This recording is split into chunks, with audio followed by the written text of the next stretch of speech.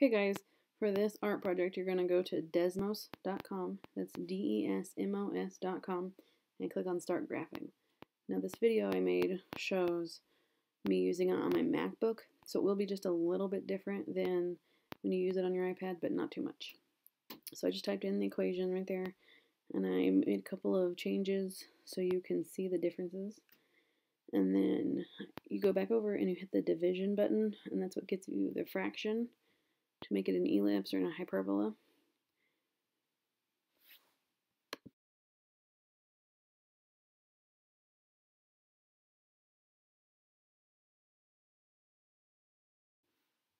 For this project, you're going to make some kind of artistic image using the different conic sections. Um, I have a different file that tells you all the requirements, like how many equations you're going to have to use and the colors and the lines. This part right here is the keyboard. You'll see that on the iPad a little more.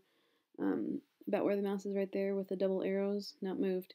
Um, that's going to close it so you only see the image and not the equations. That right there helps you change if it's a dotted line or change the color and so you can get a better artistic image that way.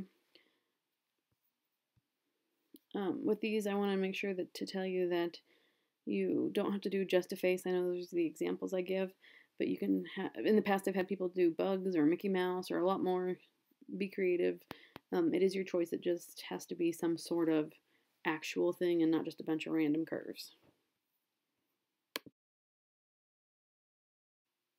So your TI-Nspire app will do this, but that's actually really pretty new. It didn't used to do that, and um, the Desmos is still a little more user-friendly, so that's why we're doing it on that. And don't go just based on what I didn't. They're just a few examples, so make sure you look at the requirements page. Okay, here you go. Have fun, good luck, and let me know if you have any questions.